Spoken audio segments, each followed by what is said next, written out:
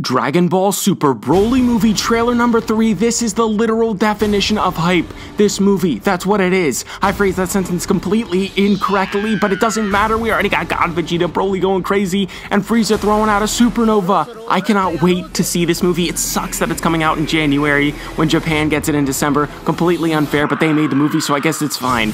Broly throwing out a wave out of his mouth, pause, whatever. Doesn't matter. This soundtrack, okay, this OST, I need it, dude. It's already sounding like flames. I'm just so hyped right now. I need to reel it back a little bit. I hope they explain why he is so powerful in this movie as compared to the previous one, or the non-canon one, because he's taken on, what was he taking on? Whis? He's taken on God, Vegeta, God, Goku, Super Saiyan Blue versions as well.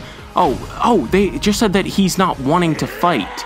So I'm guessing Paragus is controlling why he is fighting, or maybe Frieza, who knows, but that's besides the point right now. This action is off the walls and yo, look at that!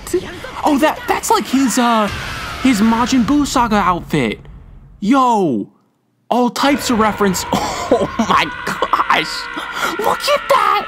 Look at how clean that looks!